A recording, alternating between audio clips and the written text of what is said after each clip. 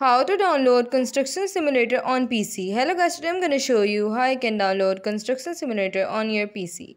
Downloading it is very simple and easy. The first step you have to do is simply go to Steam and after going there simply log in or sign up here and after logging and sign up in here simply go to the search bar and search here for Construction Simulator. When you will search for the game simply select the one that you want to download and after selecting the game now simply go to the game page and scroll down a bit.